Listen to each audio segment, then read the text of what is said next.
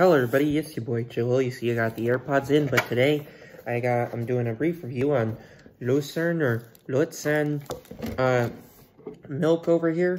Got some Kit Kats with me too, so let me eat a little bit of those a little bit while I try these. Like fell on the camera. Like that.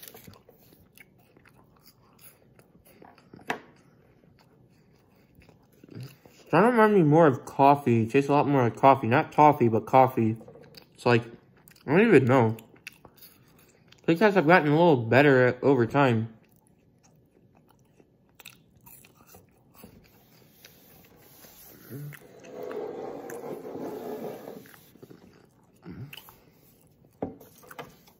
Anyways.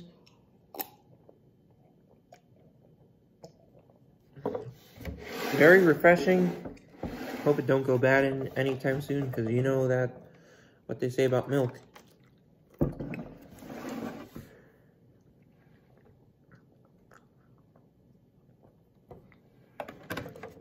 It's almost like water, but like a little more, I don't know, milky, of course, but uh, yeah.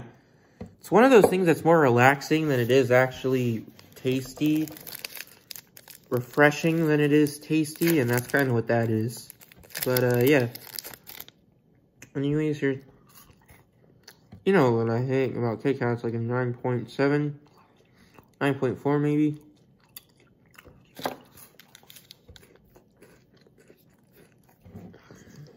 I'll be married for now pushed, and I give this a 9.6 out of 10, as long as it don't go bad.